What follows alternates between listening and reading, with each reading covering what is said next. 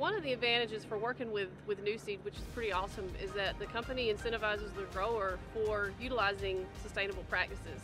So using chicken litter and, and, manure and encouraging any type of minimal tillage conservation program, they have the ability to incentivize that for the grower. So getting that adopted and getting comfortable with that crop in the system if it's incentivizing growers have some financial benefit from that.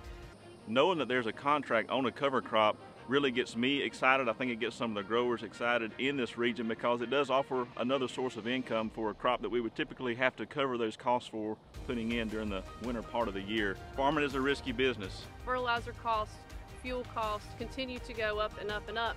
And so if you add in a new crop in, into a farming system that's very low input, uh, you get so many benefits from it in terms of the soil health aspect, but also an immediate benefit because it's a harvestable grain crop.